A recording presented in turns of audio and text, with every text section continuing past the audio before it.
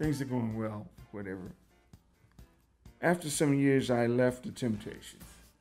I got divorced, whatever. Bought a house. Never thought I would own a house. Wife came, boom.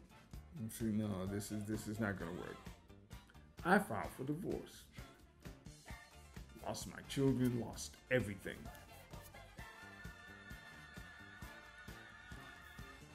I start getting calls from Maurice White like three, four o'clock in the morning.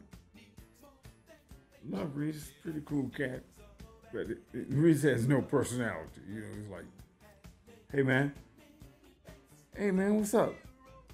Nothing. the conversations never went anywhere. But I think what Paul Serrano had dropped on Maurice in terms of, you got to check out this young young arranger Benjamin Wright. It never went anywhere. I just got calls, calls, calls. Finally, one evening, I got a call, and Maurice is talking. He says, "Hey, man." we got a tune. Al McKay is producing a group called the Curtis Brothers. He spent a lot of money and got no hit. He said, "Man, I'd like for you to check out this song, cause uh, you know, you know how you write, man. You know, I'm, I'm quoting it.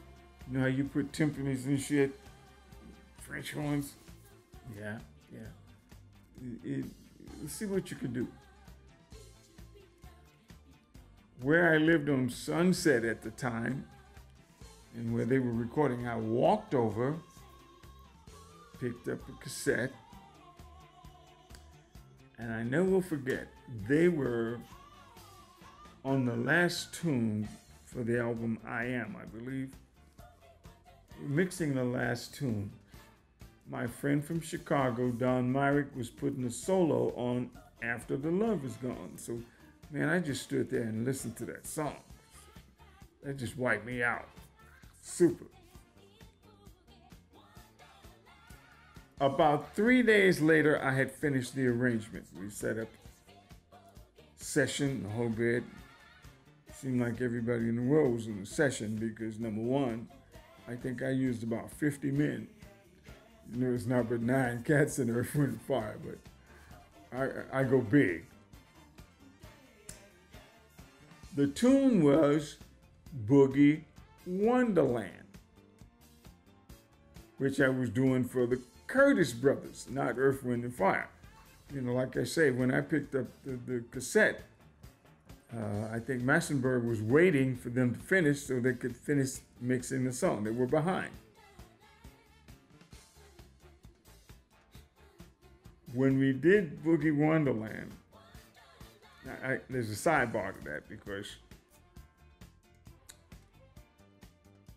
I thought I was running the strings down. Say, hey, you know, let's let's do a run through so the engineers could get set. We went from top to bottom of the song, and Maurice comes out of the control room to tell me, hey man, that's it. And I didn't understand that. What do you mean that's it? He said, hey man, I'm just running it down so we can get levels and whole bit. He said, no man, that's it. And to this day, I'm still bothered by that because it wasn't to my satisfaction. You know, we didn't have notation stuff back then. You know, everything was by hand. So nobody knows what the arrangement is but me. Because it, that's it. I learned later that day he accepted that first take, which in, in my opinion wasn't a take because we didn't even have the levels together. But no problem. Should bring the horns in. The horns in. We did it. We did it did an okay job. Once again, nobody knows what's on the paper but me, so ain't nobody complaining but me. Maurice okays everything. Well, for the Curtis brothers, Then the next two days, for an album that was already finished, Maurice says, This has got to be for Earth, Wind, and Fire. Brought the emotions in, the rest is history. Earth, Wind, and Fire took him to the top of the charts and was the first single off a record that was already finished. Not only that, won a Grammy that year. So I don't, I don't think I did too bad on that.